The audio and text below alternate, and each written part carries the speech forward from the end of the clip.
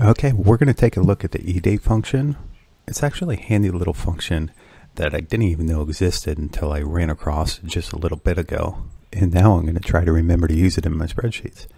What it does is it takes a starting date and it adds or subtracts a certain number of months to it. And the magic that happens is that it knows how many days are in each month. Right. So you're thinking, well, I can just add 30 or 60 or 90, but but this will get you to June 17th or July 17th, etc., which is a little bit easier to do if you use this function. So it's pretty simple. Here I just added 13 months, and you can see it moved it forward from May 17th to June 17th. And then obviously it moved year too.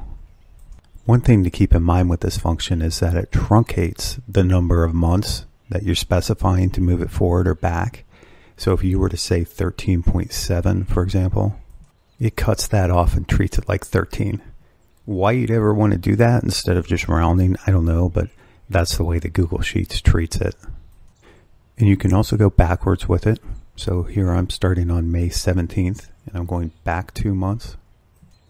And as I touched on earlier, one of the things that makes this valuable is that it knows the number of days in a month. So if you want to advance May 17th by three months, you can do it just by basically saying, look at this date and go forward three months.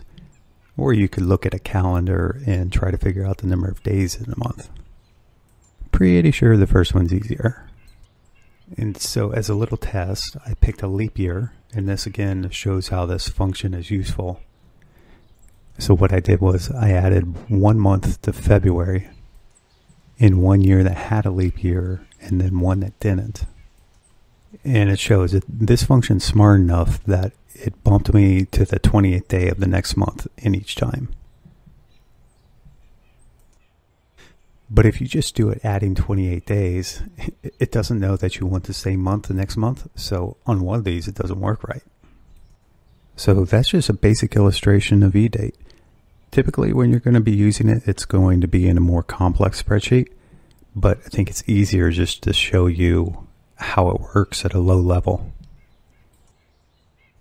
So, one thing to really pay attention to here is that you have quotes around the dates. If I take these quotes out, the function is going to blow up. What it tried to do here was take 5 divided by 17 divided by 2017 and obviously, that's not what you wanted to have happen. So, when you're in Google Sheets, there's a couple ways to deal with dates. One of them is to put in quotes.